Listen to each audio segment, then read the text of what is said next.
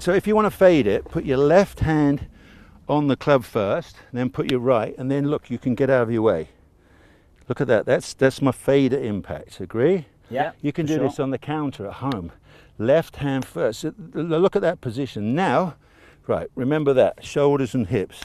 Now I want to draw. Watch this. Just put the right hand first and that and then go. It's different, isn't it? Yeah. Mm. I mean, it's only a hair, I know, but that's, that's Open with that. shoulders. See, 100%. so this one you have a chance to get underneath it. Well, this one you've got to be on top of it. Yeah.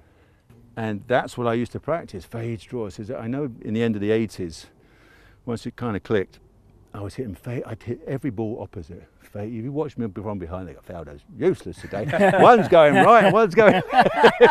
Seriously, but it was intentional. It was going this, way, and when I got really good, they were just peeling, just falling out the sky, just like this. That was the idea. You're just doing this.